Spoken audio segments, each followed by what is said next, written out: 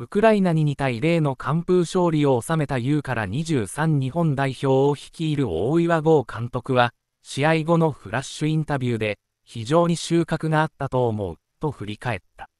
22日のマリとの親善試合では1-3の逆転負けを喫し、同試合から先発10人を入れ替えてウクライナとの一戦を迎えた。前半はゴールに迫る場面を作りながらもスコアレスで折り返すが、後半3分に CK の流れから最後は FW 佐藤慶誠が押し込んで試合を動かす。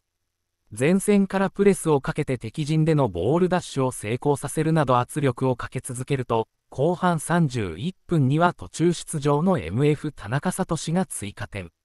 ウクライナに反撃を許さずにそのまま逃げ切り、2対0の完封勝利を収めた。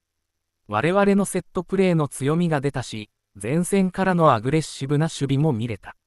しっかりと自分たちが保持するところはよくできたと思う。来月にはパリ五輪アジア最終予選が開幕し、グループリーグで中国、UAE、韓国と対戦。同大会で3位以内に入り、パリ五輪行きの切符を手に入れることを、まずは目指す。指揮官は、最終予選でしっかり勝ち切るために、これからまた準備をしたい、と力強く語った。